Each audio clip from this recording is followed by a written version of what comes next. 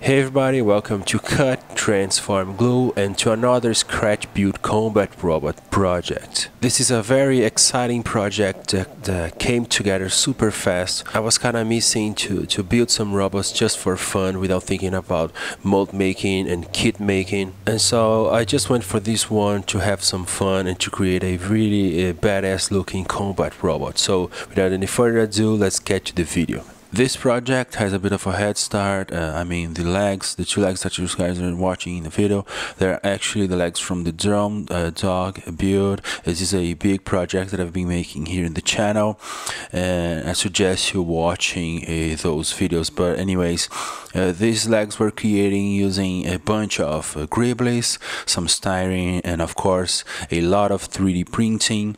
And after after I created uh, all of the segments of that leg uh, I took a mold of it uh, a rubber a silicone mold of it and I made some casts uh, to use on the drone dog and it was actually by accident that I discovered that the the four legs of the drone dog actually also worked as a two-legged uh, in a two-legged configuration let's just say that.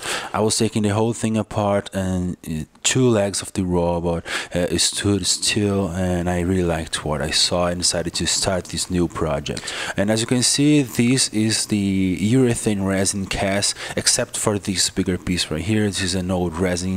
Uh, I mean I don't waste any miscast uh, from this project. So yeah uh, most of the pieces that you guys are watching right now are pieces that are uh, kind of a miscasts or maybe tests for the drone dog legs. So yeah when I started the drone dog kit uh, I knew that I would end up with some pieces that could be used on other projects but this two legs configuration was uh, really a very happy accident but of course I need to connect these two legs together. So uh, the first piece that I'm gonna make for this project is the waist.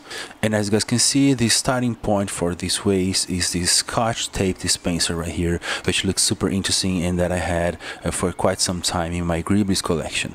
Also as you just saw um, I'll use the ball joint system that I developed for the drone dog in this build.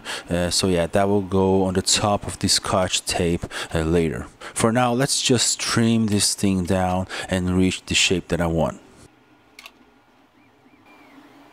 This tiny part right here this angle right here I'm not even sure I'm gonna trim this down but uh, still uh, I'm gonna put some lines right here and decide about it later. And to cut it precisely and fast uh, I'll use my Dremel tool with this spinning blade right here.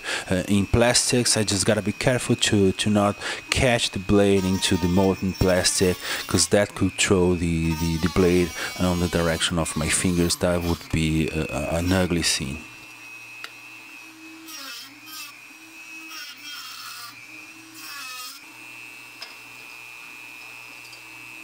and to keep everything together uh, just use some drops of CA glue right here in the middle. And then later on the top of that I'll use some baking soda to add strength to the whole thing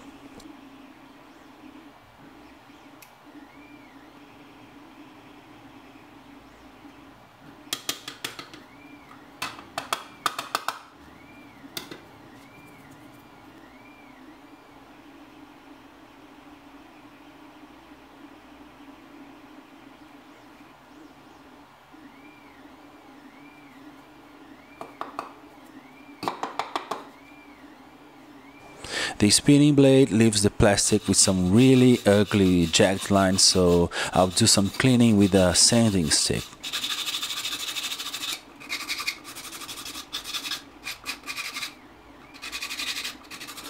And at this point I decided to keep that angled uh, tip right there and to cover the, the hole from the, the hollow scotch tape dispenser with a piece of styrene. And this process is actually very easy. I'm using this uh, 2 millimeter styrene right here. And to bend it I just have to use a, a hard tool against it till I match the angle also as you guys can see I started with this uh, really oversized piece of styrene and the reasons for that will be clear in a minute. Now I just gotta mark some uh, lines kind of roughly around the piece. I, I wanna still cut the styrene like bigger than the scotch tape dispenser and for that I'm using this snap knife right here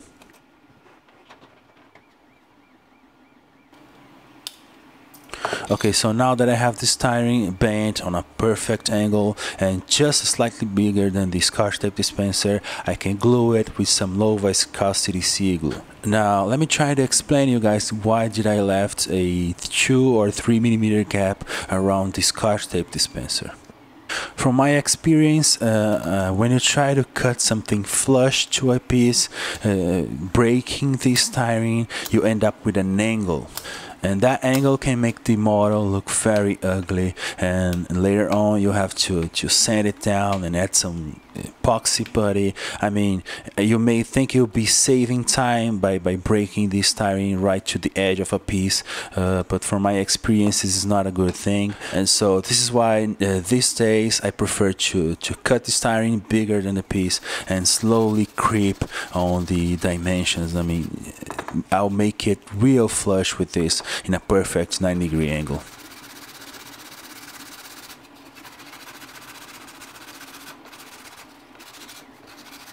After a while of sanding, this is the result, and as you can see, the edge of the styrene is perfectly aligned to the piece.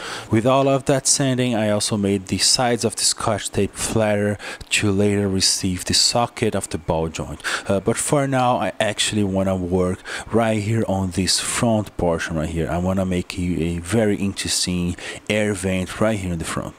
Now, of course, I have this angle situation right here, and so to attach this uh, air vent, I need to bring the whole thing to the front and remove that angle right there. And so at first I thought I, I would use some 3D printing to do that. So this is why I'm, I'm taking all of those measurements right there.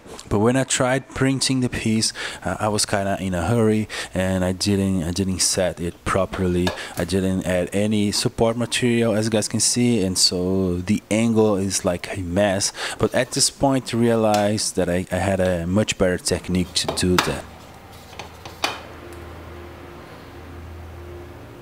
So this right here is just a piece of thick paper with some double-sided tape on it and my idea right here is to create a sort of a dam around the uh, the top of the scotch tape dispenser and once that's there I'll just fill that gap with some old resin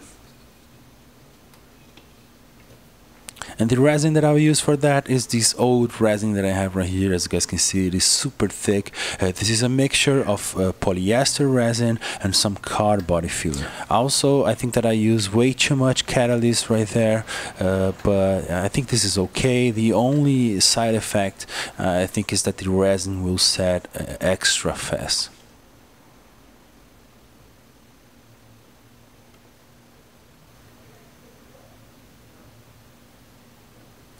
tons of air bubbles as you guys can see but I'm not worried about that. This will get sanded and I will glue some structures on the top of it. So yeah this is totally okay. And after uh, some minutes the resin is set and I can remove the double-sided tape. Now I just gotta give it some sanding and make it flat as flat as possible After a while, it was flat, and I also added this light cutting putty uh, right here on the sides because I had some gaps going on uh, from the resin. Uh, but now I can finally move on to the ball joints. Now, as I said, I'm using the same ball joint system that I've used for the drone dog. It'll be sitting right here on the sides of the scotch tape dispenser, but I feel like I need a bigger uh, gap in between the, the, two things. And so this is when I found this thing right here. This is an old spray can that I have, and on the top of it, on the tip of it, I, it has this interesting dome shaped plastic piece right here that I feel looks perfect so I'll try to remove it uh, without breaking it and I'll glue it to the scotch tape dispenser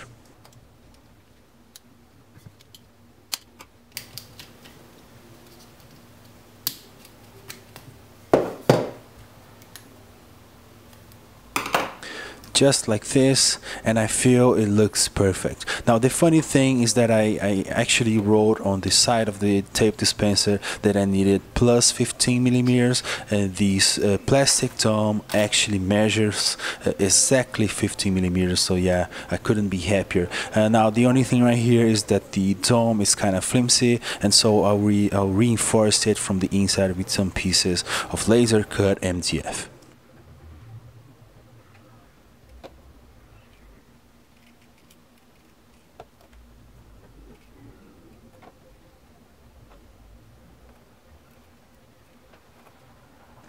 And of course I also use tons of baking soda. Right here I decided to to actually cover that hole and I have the perfect uh, laser cut MDF piece for that. So yeah I just position it right here and use the low viscosity CA glue from the bottom uh, to attach the two pieces together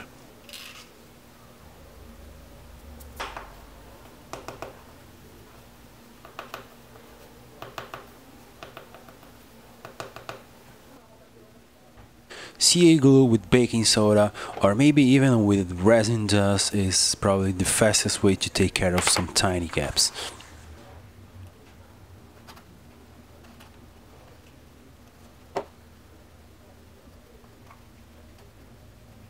Okay, so now I just gotta attach the 3D printed ball joint socket to the top of the dome. Now that I have the MDF going on right there, I have much more uh, surface to, to keep these two pieces together. And just to be sure that the dome is strong enough, uh, off camera I've used uh, the same polyester resin mixture that I had uh, on the inside of the dome just to add just a bit more of structure and also uh, to take care of this gap right here uh, that's yeah that this curved uh, gap right here. I threw a couple of circles on the surface of the tape dispenser to find the center and now I'll glue this piece uh, to it with the low viscosity glue. Now I know you may think that the CA glue is not enough to keep everything together and you guys are right and for that I will just drill some holes, I'll countersunk it and yeah I'll use a bolt, a actually a wood screw to keep everything together.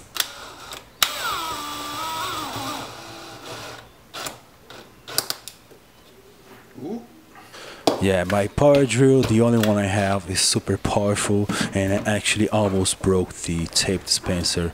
I need to I need to to buy a smaller hand drill. Off camera, I repeated the same process and I created the other side, at the dome with the 3D printed piece and some resin on the inside to, to give it structure. And now I can finally work on the front right here uh, on the uh, air vent. Now for the air vent, I actually decided to go with 3D printing. So this piece right here was 3D modeled on Fusion 360 and I printed it on the highest resolution my printer could make, which is uh, 0.1 millimeter. Oh, and by the way, this design and many others are available for my patrons on the Combat Robots tier, a link on the description box. But anyways, uh, I printed the fins of the air vent uh, kind of flush against the bottom to avoid using some support material. And so because of that, I had to actually also print a frame uh, to create some distance in between the fins and the, the bottom, the, in the, the resin right there. So I just had to glue the frame first against the resin and on the top of that came the, the air vent design. I think that the gap right there is important to, to create the illusion that this is actually an air vent. Because of the resin, the 3D printed piece and the fact that this tape dispenser is hollow, this piece is super front heavy and so I'll have to take care of that and, and add some weight to the back of the robot to keep it balanced. But that's for the future. Uh, for now let's just put everything together and, and, and see if the waist looks good against the legs also, is it just me or does this waist looks like a spaceship? I mean, in a smaller scale. so here's the result i'm really happy with what i'm seeing i feel like the tape dispenser was a good starting point for this uh, robot waist and now i can finally start working on the body of this robot now I can already see a challenge right here. The tape dispenser is too thin uh, to support the weight of a, of a body for this robot and so on the top of that I'll probably have to add some structure like this uh, laser cut MDF right here uh, to prepare the, the waist to receive the whole uh, body of the robot. But that's for the future. For now I'll just worry about the body of the robot. Uh, this is the starting point right here. This is a piece from a vacuum cleaner as you guys can see by the amount of dust uh, but yeah I'll, I'll use it to create the bottom of the of the body of the robot I'll just start by giving it some sanding to, to create to add some tooth to it so that the the other pieces attach better to it with some CA glue right here is a bit of a maker's years uh, scratch building magic when I had just a perfect laser cut MDF piece uh, to go with this. This is actually why when I go to the public makerspace I make sure to cut different sizes of pieces and variations of it also when I cut some circles uh, I make sure to break it down into multiple uh, rings. And so when I need to, to, to have this circle fully closed I just had to find the, the other pieces and glue them together with the CA glue as you guys are watching in the video right now on the top of the MDF right here I'll add this other gribbly right here to, to add some structure to the thing and create some distance in between the body of the robot and the tape dispenser.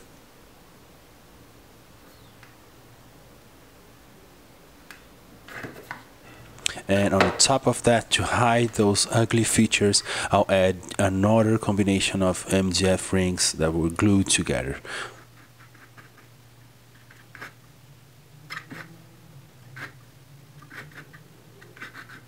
okay so now I can finally start working on the top of the robot and I'll begin by removing these features right here from the vacuum cleaner uh, piece because those features are not useful for my design and they're really getting in my way.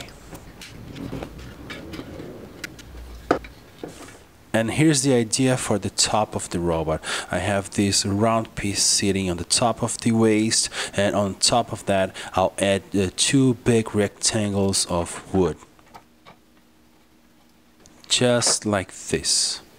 Now, of course, I'm just kidding. I don't want to make a rectangular uh, bodied uh, robot. I'll actually cut a curve right here in the back to match the circle on the bottom. so I did that off camera I've cut this round corner to this uh, 15 millimeter piece of plywood and the bottom vacuum piece will be glued to it just like this uh, with a distance from the uh, from the outer uh, border of the plywood. And on the front right here I'll add these two gribblies right here. I'll tell you guys about it in a minute. But yeah I really like these gribblies and I'll add them to the front of the robot. But I still felt that the 15 millimeter plywood wasn't enough and also uh, a styrene is a better surface to, to work with. So I glued these two pieces of styrene 3 millimeter styrene on the top and on the bottom of it now I'm just gonna eyeball the, the center right here. I'll throw some lines with a Sharpie and I'll attach it with some CA glue uh, from the outside. CA glue is probably not enough to keep these pieces together so off camera I've used uh, just a bit of uh, hot glue from the inside to keep everything nice and tight together. Now let me talk about these two gribblies right here. These two gribblies right here are super interesting to me. I can find them easily on the streets of my city. And as you guys can see, there is even uh, some wear from, from it being outside. Uh, there is some discoloration of the green, uh, as you guys can see right here. I believe this is because of the sun uh, burning the plastic. Uh, these uh, pieces are used to, to, to keep some wires together on poles, on electrical poles. Actually, I believe this is used uh, actually for the phone wires. But yeah, these are super interesting to me because they look super good and badass. They are super easy to find here where I live, lying on the ground. And so yeah, expect uh, to be on the next builds of this uh, channel. I've had this for a little while and I, I couldn't figure out how to use them, uh, but they look amazing as air vents for a badass looking robot. They also make the robot look like a big harmonica and so there is that as someone mentioned on the comments on my community section of the channel and I really agree with it. But yeah, I still love this piece and I feel like it looks good for a combat robot. Now let's move to the bottom of the robot. I need to add some details to it right here. Uh, if you look at my other models you, you, and if you watched some other videos, you'll know that I love to add some like uh, ridges uh, to, to make the whole thing look more in scale, let's just say that. And so yeah, this is what I'm doing right here. I'm adding these uh, laser cut pieces to the bottom of it, kind of evenly spaced.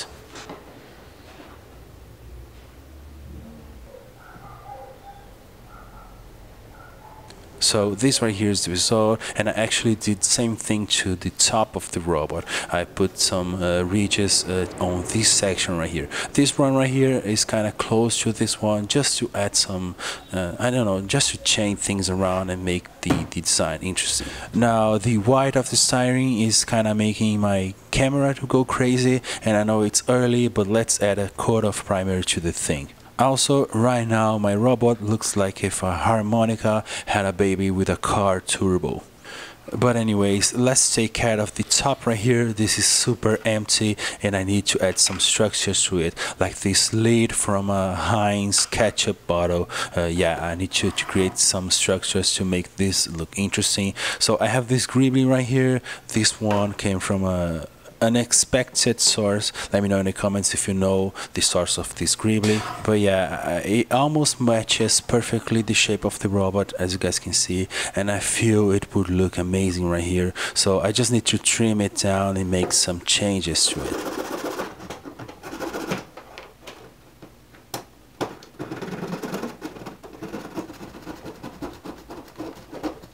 so it will sit right here like this I'll attach it with CA glue to the top of the robot and then I'll close that gap of right there on the top that's open Now I don't want this hole to be open so for each of these three gaps I made a custom 3D printed panel to go on top.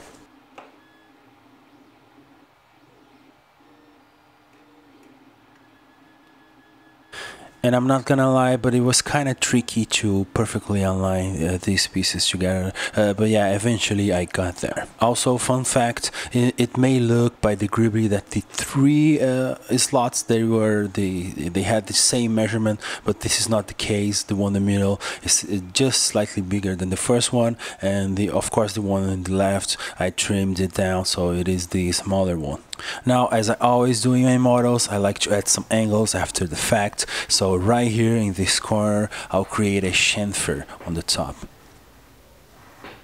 So I remove most of the material and most of the styrene with an X-Acto knife. I just gotta make sure that my hands are not in the way of the blade. Styrene is not that hard, so it is uh, relatively easy to remove styrene with an X-Acto knife. And then I'll finish it all with some sanding. Now here's a quick tip for you guys. If you're trying to make a round corner with sanding, you just gotta wrap some sanding paper on a drill bit. Just make sure to choose a drill bit with the radius that you need. Now, of course, to create the chamfer, I need something straight and I mean stiff. So this is why I'm using the sandy stick. This is actually 3 millimeter uh, laser cut MDF. I make all of my sanding sticks the result's good i really like this chamfer i feel like it adds to the design of the robot and i did a smaller one on the underside Okay, so now let's go for that ketchup lid that looks like a hatch. Not that this robot is going to see any humans inside of it, but I feel like the hatch is a good design choice. Maybe it is like a service access point for, for the mechanics uh, to work on the robot. But anyways, I added a 3 millimeter piece of styrene, some laser cut acrylic, and on the top of that, the ketchup lid with some gribblies and other laser cut parts attached to it. For the side right here, I made a custom 3D printed piece uh, to the precise dimensions of the robot uh, to cover these ugly holes right here to hide the plywood lines and also to, to give me a chance to add some details later.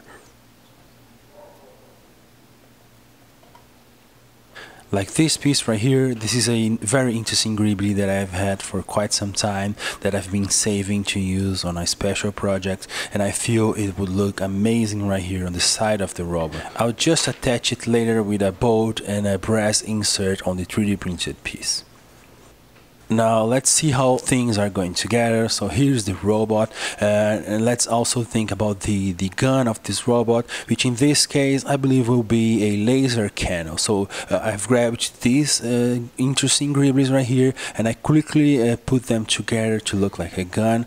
I also added this structure right here on the side of the robot to be like the axis of that uh, laser cannon The green piece came from a dead uh, DVD player and I 3D printed a pin and a tiny head to, to act like the axle uh, for the gun. So yeah, this is the idea. Now for this laser cannon, I I'm thinking about using a ton of tiny DVD reader parts, uh, shiny parts to make it look interesting. Uh, but yeah, uh, that's that's later. For now, I'll start removing some features from the Gribblies to create the perfect body for this uh, laser cannon, and I'll also, of course, use some laser cut uh, pieces on top of that.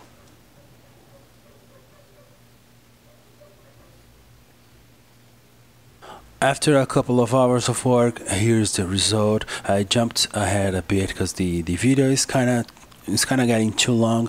But anyways I use some uh, 3D printed pieces. I use uh, lots of laser cut MDF pieces. And right here in the middle I have this piece which came from a, from the top cap of a deodorant bottle uh, which fits perfectly onto the Gribbly that I started with in another uh, maker's magic moment right here in the bottom I kind of screwed up and I put the tiny head kind of uh, off center. So I had to remove it and now I need to take care of that hole right there. Also if I'm being honest I'm not too sure about this Gribbly right here in the top this white one. Uh, I'm not even sure I'm gonna keep it. I may change it later Okay, so at this point I feel like the combat robot is in a good shape. I'm really happy with the structures that I've made and how it is looking for in terms of the overall silhouette of the robot. But still I am far away from my goal and to reach that goal I need to start the detailing phase.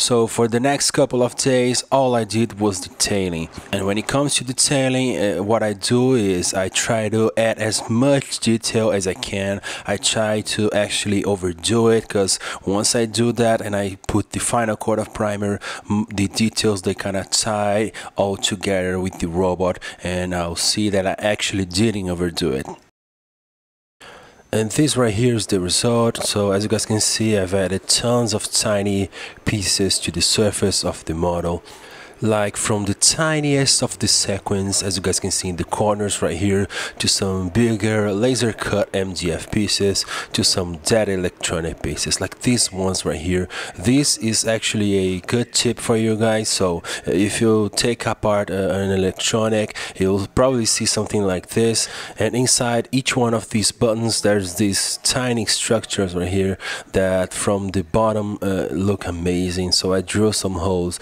and I put them on on the surface of the robot. But there are tons of other details like these black circles. Uh, these came from some googly eyes like the ones that uh, you put on toys. And also, of course, some 3D printed surface details. Right here in the front, I decided to add like a metal rail. So I've 3D modeled this structure right here to support it. But yeah, I think you guys got the idea. Uh, when it comes to adding detail to, to the models, you kind of you kind of have to go crazy. So after the detailing phase, I put everything together, but here I noticed something very important is missing in this robot. The backpack. Where is the backpack of this robot?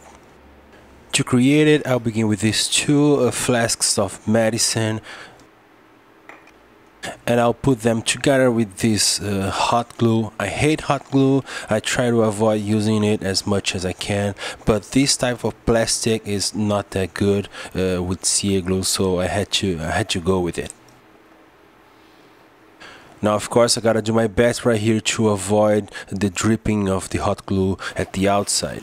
And if you guessed some 3D printed pieces, you guessed it correctly. So here are some 3D printed pieces that I've made for this a battery backpack. Again, uh, some hot glue to, to bring everything together right in the middle and some CA glue from the outside. And now I'll add some details to the side. Again, some 3D printed uh, tiny details that I made just for this piece.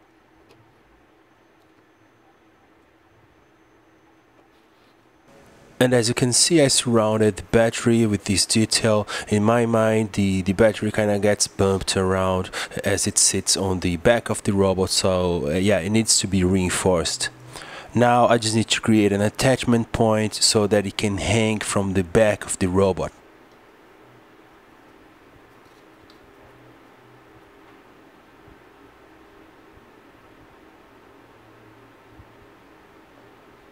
And this right here is the structure that I'll glue to the back of the robot where the, the battery will be hanging on. To make my life easier on the painting process, uh, these pieces will be kept separated. And right here seems to me like the perfect spot for that. Uh, it is kind of off center and I like that. And so without thinking too much, I just went for it and I attached uh, that piece with some CA glue.